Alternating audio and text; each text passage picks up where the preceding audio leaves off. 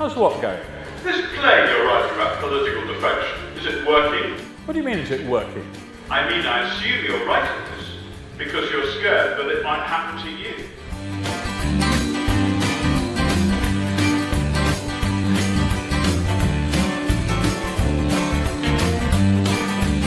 An old man in a room at the top of his house.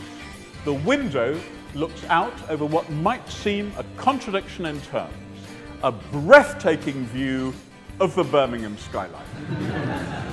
but the most striking thing about the room is that it's full of paper, mostly but not all in ring files, box files, and cardboard boxes in which a large manila envelope stuffed with newspaper cuttings.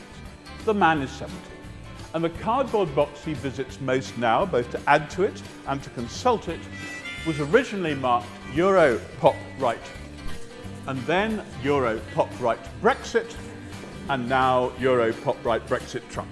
And while these phenomena are generally worrying, they are particularly so for somebody who was 20 in 1968, 50 years ago, the annus mirabilis of the international student revolutionary left. So what happened to the Sergeant Pepper generation? He sets to to discover.